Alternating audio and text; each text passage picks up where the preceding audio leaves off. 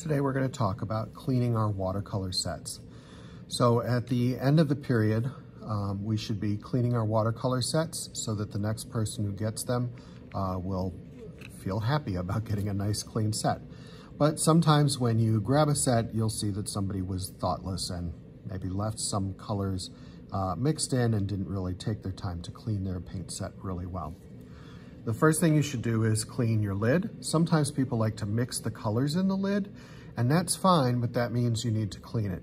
And the way you can remove the lid is just by giving it a little bit of a bend in the middle. So you hold the ends and you push down the middle and the lid will release. You just take it to the sink, rub it with a sponge and kind of clean it off.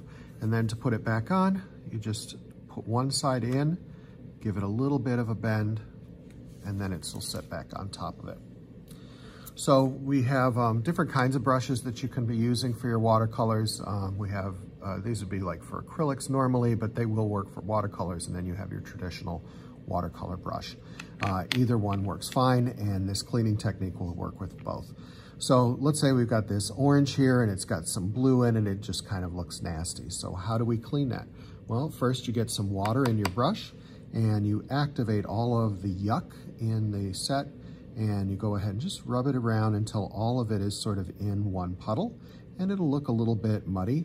Now we're gonna take our brush, wash it off, and this time we're gonna squeeze it gently and get out as much water as we can, and then it will act like a sponge and pick up all of that nasty color in there, and then we're left with a nice orange.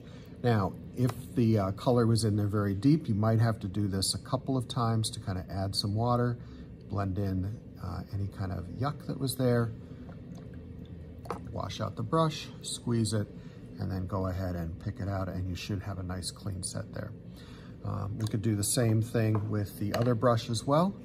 So um, it doesn't hold quite as much water, so it may take a few tries to kind of get this brush to do it, but that's fine. Activate all the yuck.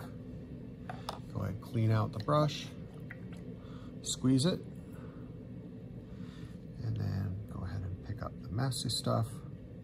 And it's gonna take two passes to clean up the messy stuff because again, these are a little less absorbent, though they do give you some nice details because they'll go to a nice point or they can go to a nice wide line, all with the same brush.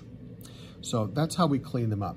Now let's say you're running out of a paint. This yellow is pretty much done. There's a little bit there. This could probably be used for another half a painting, but at some point you may need to take out this pan. That's what they call it, a pan. So just use your fingernail to pull underneath the edge, and then your teacher can give you another pan to kind of refill it.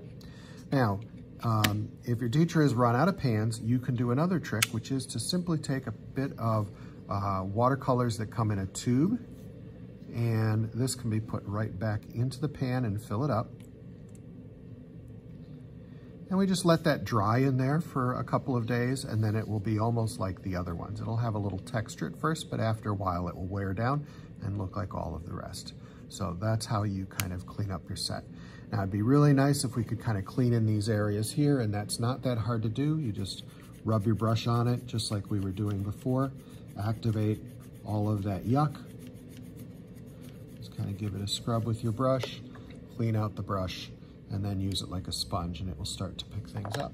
Again, the watercolor brush is designed to hold more water, so we can activate there, squeeze out the brush, and then that will help clean up the set.